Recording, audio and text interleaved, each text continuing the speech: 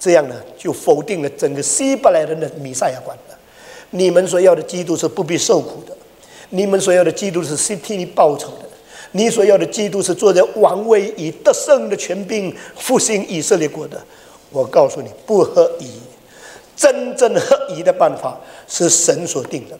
那么从这个角度就看到，先受苦后得荣耀，先降卑后尊贵，先死后复活，先顺从后得以完全。这个原则一了解之后，你再看圣经的时候，你看出基督人不一样了。你看见他为我们的罪受害，我们如羊走迷。偏行歧路，耶和华使我们的众人的罪都归在他的身上。他被压伤，他受害的时候不讲凶杀的话，他被定的时候手脚被扎，他大声呼喊说：“我的上帝，我的上帝，为什么离开我？”这些是不是圣经啊？是啊，是不是啊？是。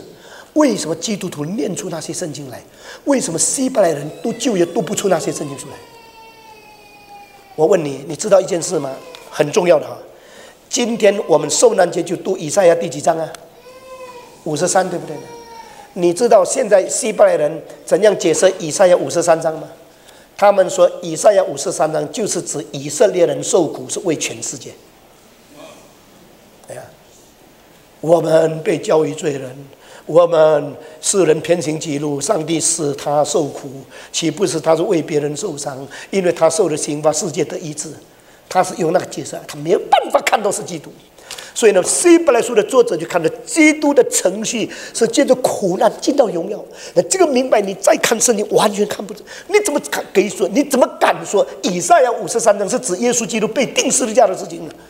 因为圣灵这样引导的。圣灵怎么引导呢？圣灵在《师徒行传》第八章里面引导什么人？菲利，菲利看见这个，这个。什么？埃提亚伯的太监来的时候，他就在那边读以赛亚五十三章，这什么意思呢？菲利受圣灵感动，对他说：“耶稣基督为我们的罪受死，那就是指耶稣基督，那是正确的捷径。”所以呢，马丁路德说：“有人只要荣耀的基督，有人只认识受苦的基督。我们要从这两方面认识，基督是受苦而进入荣耀的基督。”阿门。